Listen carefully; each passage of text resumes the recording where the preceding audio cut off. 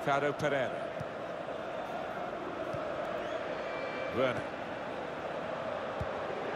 That is a clever pass, but he might be in here. That's great for Milan, they've scored here.